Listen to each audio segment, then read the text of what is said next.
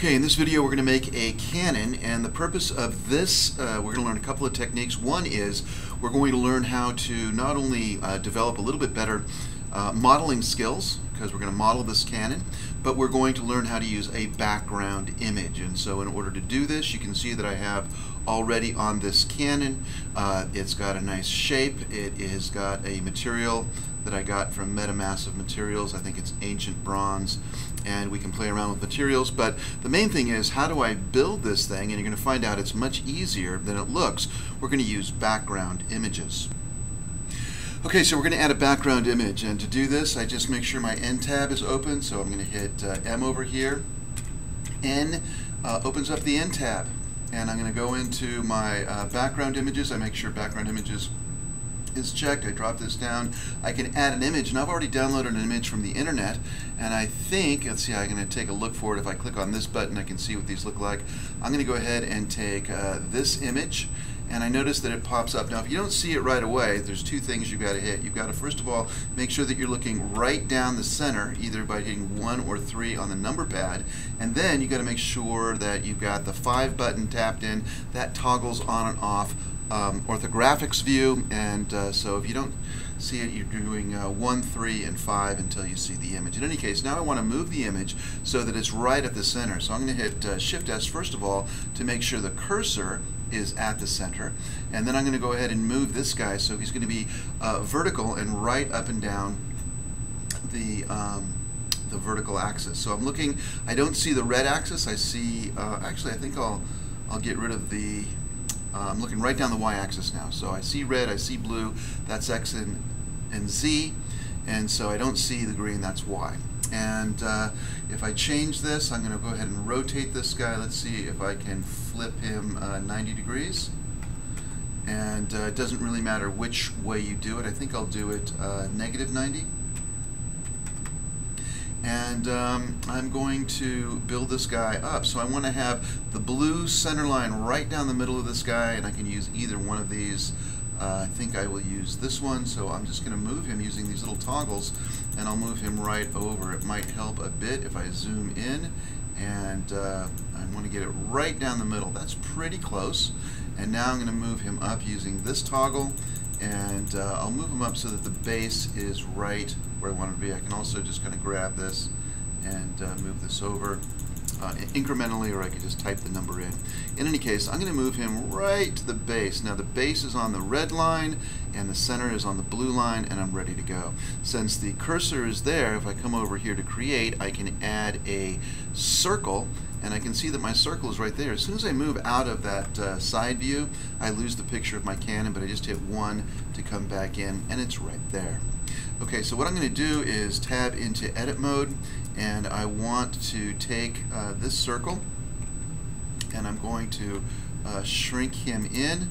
Uh, if I click on uh, vertice, uh, the vertice button down here, I can see all individual vertex, and I will to get rid of some of these guys and uh, come back in now to this. So um, moving my cannon, I want to make sure this is about the right size for the cannon, so I will scale him in and I'll start right there. And the key uh, values that are the key buttons I'm going to do are E for extrude, S for scale, and I'm not going to rotate anything, but I want to go right up the Z axis, so I'll hit Z to make sure I'm locked in. So I hit E to extrude, Z on the Z axis, and I'm going to come up here a little bit, uh, and then I just follow the shape of this. Uh, Z again, and I'm going to scale out a bit, uh, E, Z again, so I'm going right up on the Z axis, and I can scale that out, E, Z, and it's going to keep doing this over and over. I'll keep using these same three buttons, E, Z, so I go straight up. Now I want to come in a little bit, so I just come up here a bit, and then I scale it in. And so I can see this getting this shape that's going to match this picture. Uh, EZ, I'm going to come in here, and then S to scale in. EZ, I can come all the way up to here.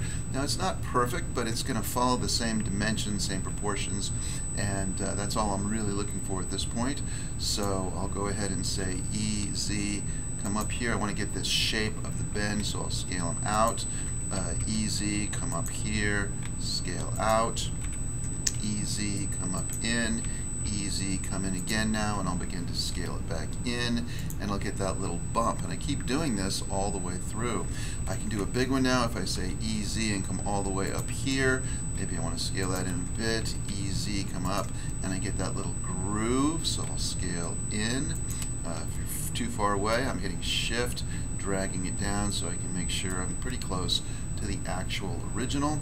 Uh, I can go ahead and bring it all the way up here, uh, scale it in a bit, easy, come up and get this little bump, uh, scale it in, uh, and so on. And so I just keep doing this. I'll go ahead and stop here and finish it, uh, and then we'll go ahead and take a look and see what it looks like. Okay, so now I'm back into this, and I can see that I have got uh, different, uh, the basic shape of this, and notice that in the front I just have an opening there, and so I want this to come in, and I don't have a picture of the front of the cannon, so I'm just going to have to guess, but I've got all of these guys selected. If you somehow get out of there, you can select just a single guy. If you alt-select that, you'll either get a vertical line or keep doing it until you get the circle that you want. And I'm going to extrude this in a little bit, so I simply say E to extrude, and I'm going to scale it in. I'm going to say E to extrude again, and now left click, and now I'm going to go ahead and grab that on the Z axis, and it'll move it back down okay? Now I can have to finish this maybe off with uh, loop cuts later on, but uh, scale that in a bit, and that's going to be the basic shape of my cannon. Now I've got to get some other parts on here. For instance, down in the bottom, if I look at the bottom part, I can see that it's open. I think I'll get rid of the plane for a minute, drop that down. And as I look in here, this is the bottom of the cannon, I'm going to want to make some changes here. So select that guy, and again, I'm going to hit Alt, and I select that, and I'm going to extrude, left click, and then scale that in. And it doesn't have to be, actually, let's do this. Let's bring this out a little bit, make it a little bit more rounded. Extrude, left click, scale again, uh, maybe bring it out a little bit more. And now I'm going to say extrude, left click, scale it all the way down, and I'm going to bring this guy out a bit more, kind of make it a little bit rounded. And I'm going to put another piece there so that doesn't have to be closed off. Now one of the things I'm going to notice at this point, I have the basic shape done. If I look at it, I can see that it looks pretty good, but it's very faceted. And so one of the things I can do, I can just hit smooth to see what it would look like with smooth shading. But what I want to do also is I want to come over here and add a mirror modifier because this is going to change things.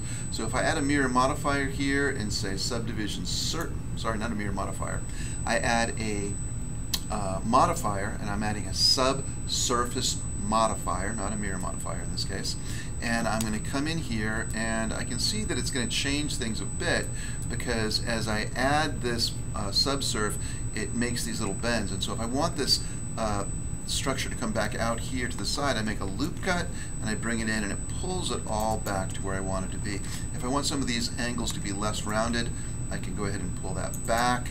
I can do the same thing down here and say uh, Control R bring that in here and so on. Maybe I want that to stay rounded, maybe I want that to stay rounded, but inside here I can add a loop cut and I can get a sharper edge right there. So this is going to be a little bit more rounded. Uh, as I come in here, I can uh, go ahead and uh, make these a little bit sharper by adding a loop cut. Again, I hit Control R and um, oops, bring it in and uh, slide it up. So that is going to work out pretty well for me, I think. So let's see what that begins to look like. And again, as I come through all these, I have to figure out where do I want this guy to have kind of a sharper edge. And so maybe uh, in here, I want this to be crease to be a little bit more defined, so I can bring that in. I can even scale that in if I want it to be even more sharp. Uh, same thing up here. If I come in here, drag that down so that edge will be sharper. And I can do this wherever I want that crease to be a little bit sharper and a little bit more defined. Think maybe down here at the end I'll look here and say maybe I'll do some of the same things here. So uh, come in, drag that in, come in here, drag that down, and so on and so forth. Okay, so that's what we're doing.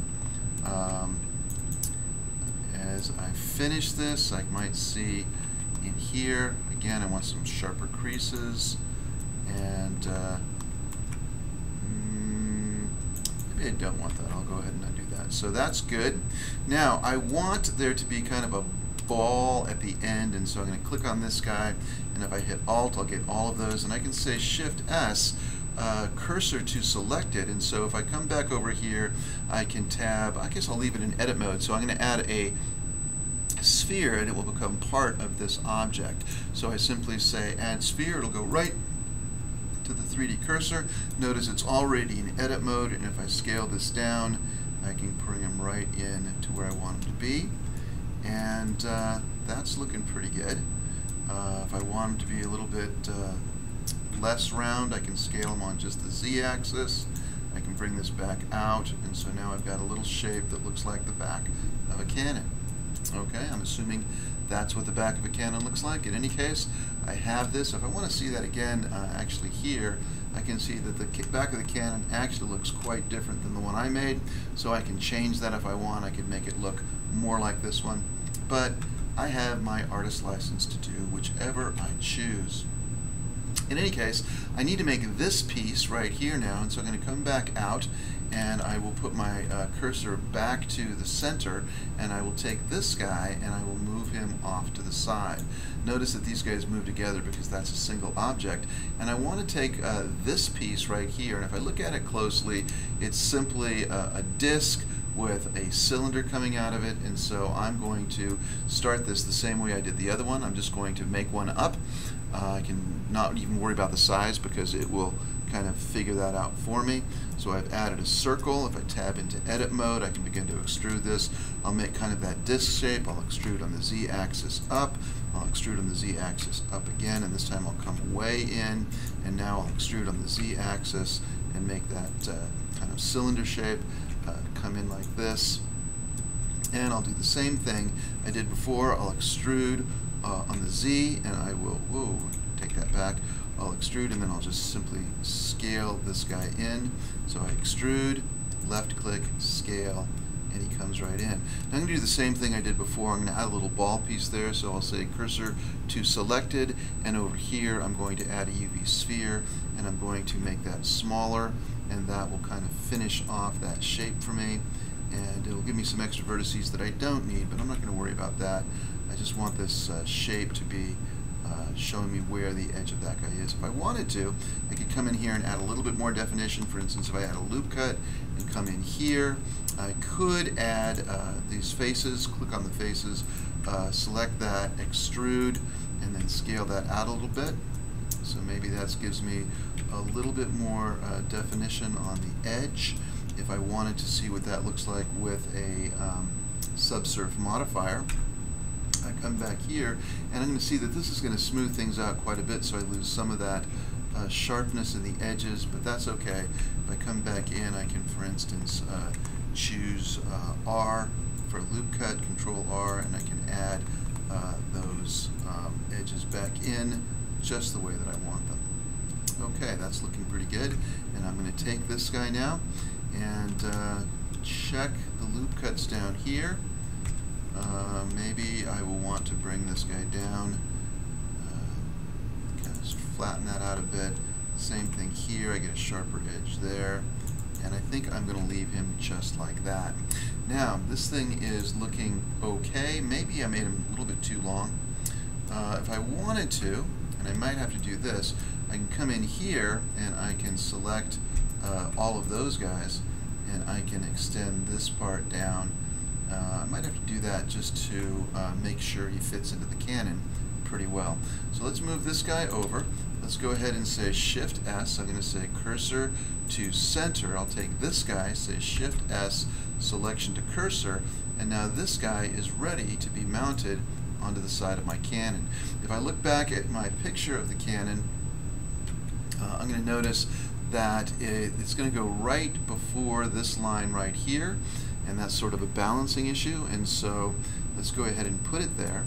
Um, all I have to do is uh, rotate him uh, 90 degrees on the y-axis uh, so he's good to go and I'm going to go ahead and maybe drop him down a little bit and I can see that he's too big so I'll scale him down and maybe scale him down again. Let's take another look at the reference image just to see how what size we're at.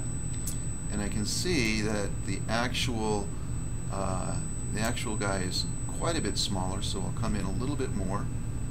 I want him to be about the same size as this guy. Uh, put him up in the same position, and now I want this guy to come in like so. And so that's going to be my uh, pivot point for my cannon. It's going to fit inside of a wooden box. And so I'll just go ahead and say Shift D, move him on the X axis, and I'm going to uh, rotate him. So R on the Y axis, uh, 180 degrees, and that's good to go. So now the guy has those two pieces.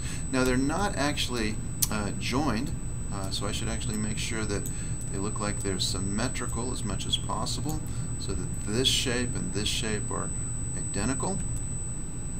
Uh, it's looking pretty close. Bring that in just a bit. And now I'll take this guy, shift select, shift select, and if I say control J, now they're all together. I think I can bump up the subsurf modifier here a bit, and now my cannon looks like a cannon. Uh, actually, I should put in some, let's go ahead and see what it looks like in rendered mode, and not a lot going on there in terms of coloring.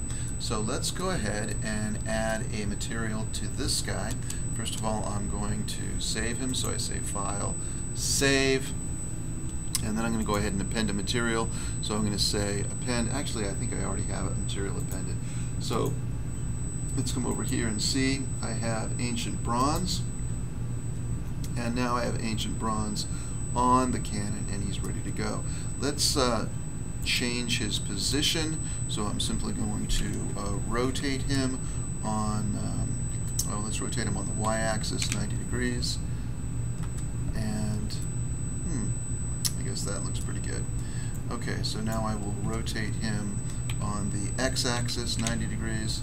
And um, I think I want to turn him the other way, so I will rotate him on the z-axis uh, 180 degrees and he is good to go. Another thing I can do is I can take the um, object and I can take the uh, transform and I can take geometry or origin to geometry and it'll move the origin right to the center of this guy. And if I say shift S uh, selection to cursor now it's right in the center of my piece. Okay?